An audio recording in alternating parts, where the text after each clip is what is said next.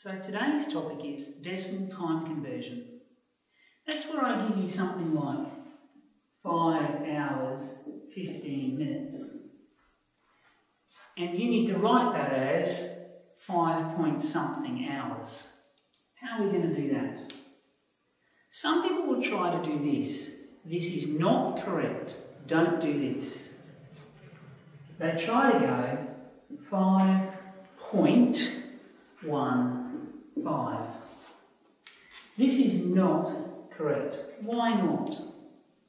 Well, because this is 15 hundredths, but this is 15 minutes, which is 15 sixtieths of an hour. It's not 0.15. Never has been, never will be. What we've got to do is look at this 15 minutes. Let me get another colour. 15 minutes here. How much of an hour is that? Well, the 15 minutes is 15 sixtieths of an hour. How do I turn 15 sixtieths into a decimal? You could do a division or you could get your calculator and go 15 divided by 60. But actually there's a quicker way for this one.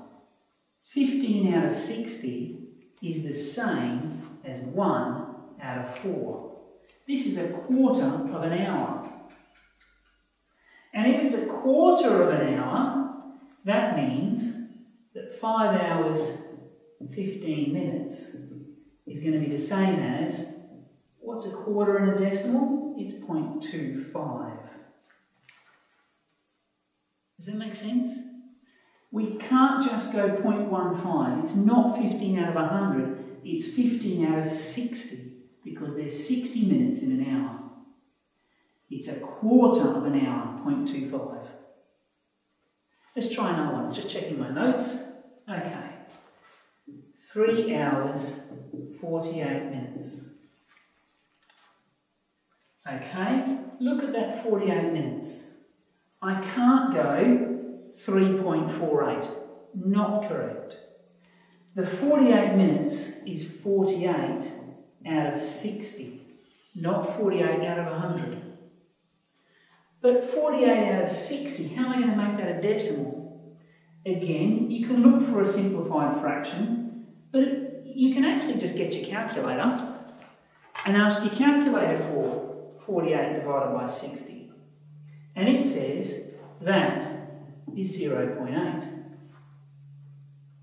Which means 3 hours 48 minutes is 3.8 hours. Simple as that. Not 0.48, it's 48 sixtieths, not 48 hundredths. Work that out as a decimal, 3.8. Let me give you a couple more. All right. Seven minutes, I can't write minutes tonight.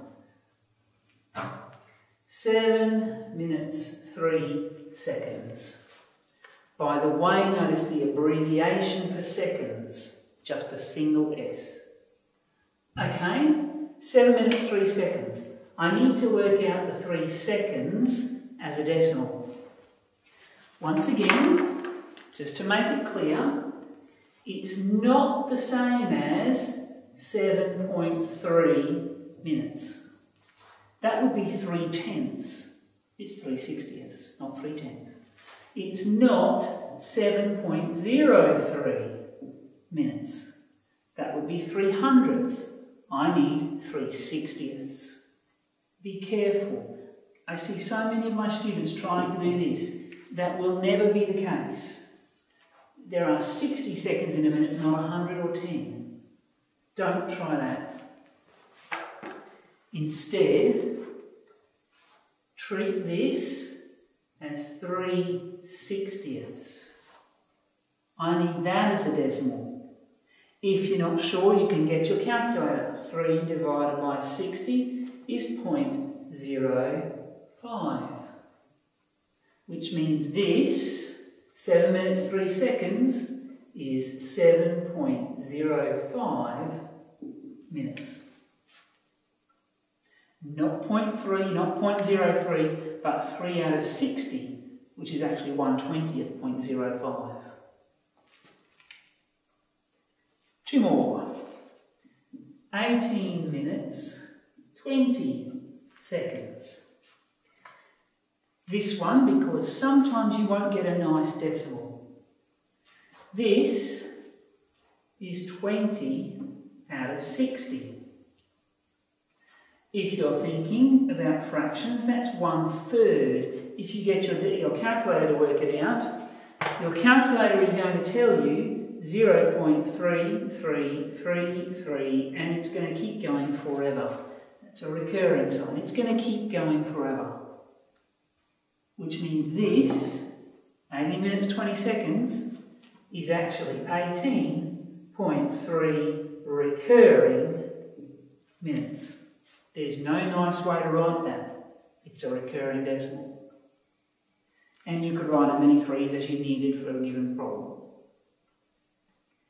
And just to show you that it can be done, seven, I need a bit more space. Seven hours, 35 minutes, and 14 seconds.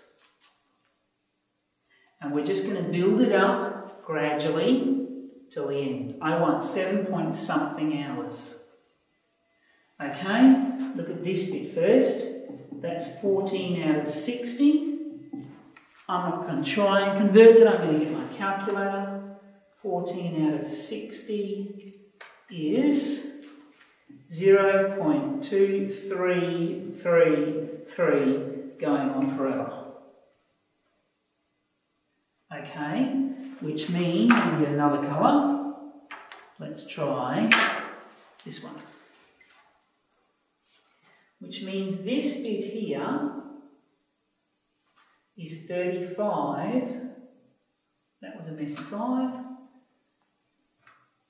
is 35.2333 recurring minutes. But I want that in hours. So I'm going to get that number and divide it by 60 to get the number of hours. Now, if I've already got this number in my calculator, I don't have to type it again. Just add 35 and then divide by 60. And I've got 0.587 and then 2 recurring, 2, 2, 2, 2, 2 forever. Which means my whole big problem, this thing is actually 7.5872 recurring hours. We just went step by step by step. You just have to remember they're not decimals, they're out of 60. If you had days and hours, it would be number of hours out of 24, and so on. Now, the same process works in reverse. I'm going to start with a really easy and obvious example, just to make the point. 1.5 hours. Now, when you see 1.5 hours, you'll straight away think 0.5 is a half, that's one and a half hours, and half an hour is 30 minutes. So that's one hour and 30 minutes. No one looking at that is going to think it's one hour, five minutes or 1 hour 50 minutes. Both of these are incorrect and they're obvious. No one does this. And yet, when I go 30.4 hours, because it is no longer obvious, 0.5 is a half, 0.4 is different, I sometimes get students trying to tell me that this is 30 hours and four minutes. No, it isn't. This is four sixtieths, this is four tenths. Sometimes they try to tell me it's 30 hours and 40 minutes because they recognise this is ridiculous and they try this.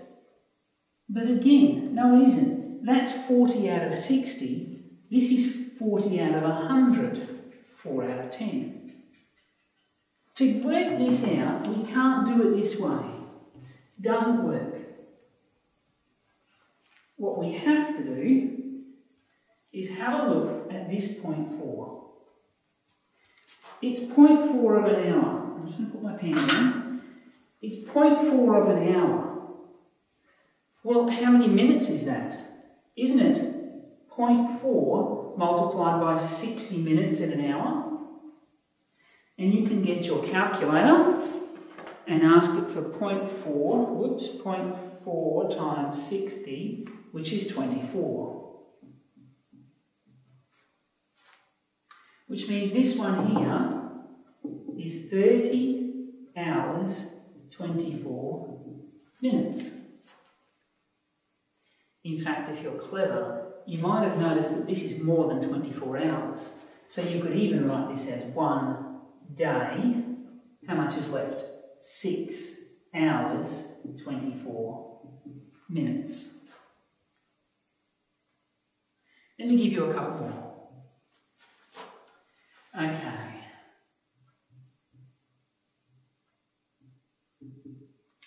Seventeen point two minutes. So I want minutes and seconds.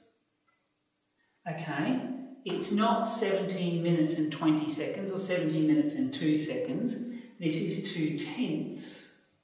But if I've got 0.2 minutes and I multiply it by the number of seconds in a minute, I'll get the number of seconds that is. 0.2 times 60. 12 seconds. Which means this must be 17 minutes and 12 seconds. One more that involves a couple of steps. That's not right. Yes, it is. Let me give you hours. This one is very tempting for my students to try to do this. They want to say that it's 12 hours and 34 minutes. They just can't resist doing that because it's 0.34, it must be 34 minutes. It isn't. This is 34 out of 100, this is 34 out of 60. They are not the same. We need to do it like this.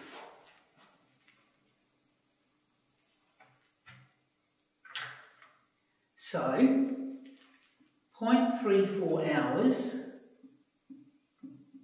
times 60 to get minutes, which is 0.34 times 60, 20.4 minutes. That's interesting, isn't it? Because I've still got a decimal actually I can go another step, can't I? Because as, well as minutes, I've got seconds to use. So I, while I can write this as 12 hours, whoops, 12 hours, 20.4 minutes, it would be much more satisfying to turn that into seconds. So 0.4 times 60 will give me the number of seconds. We actually did this just before, didn't we? 24. So this is actually 12 hours, 20 minutes, and 24 seconds. Remember, you can't write decimal hours as number of minutes, and you can't conversely have 24 seconds and write 20.24. You can't do it by hundreds and decimals. You must do it by the right numbers, 60s. If they're days, 24s.